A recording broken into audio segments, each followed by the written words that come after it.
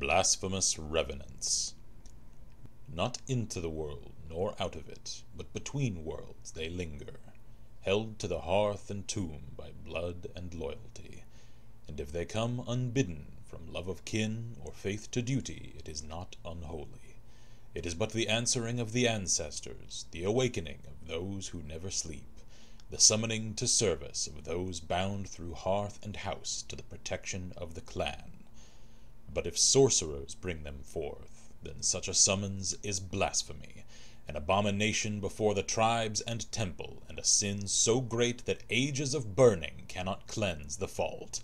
Abide not the sorcerer among you, for he comes to steal the bones of your fathers and dust of your tombs. He seeks to bind by power what is yours by right, to drag forth the warm spirits from their world between, and bind them to service like slaves and beasts. Who can know the shame of the dead, the ceaseless weeping of the necromancer's thrall?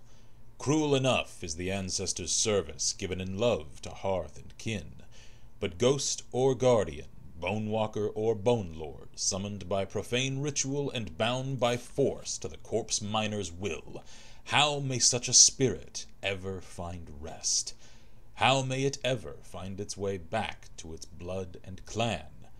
Only a righteous Dunmer, bound by blood to hearth and kin, bound by oath to service to the temple, can call upon the spirits of the Dunmer dead.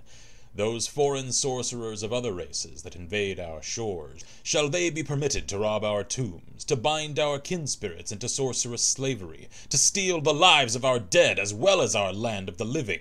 No, I say, no and no three times more! Such necromancers must die, and their profane magics must die with them!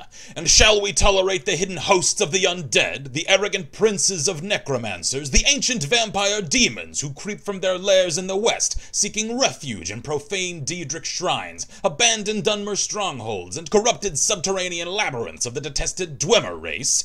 For ages the great houses and the temple have kept our land clean of the vampire's taint, but now these undead lords and their vile cattle have returned. These vampires must die, and their corrupt cattle with them, and their blood taint must be forever erased by fire and stake.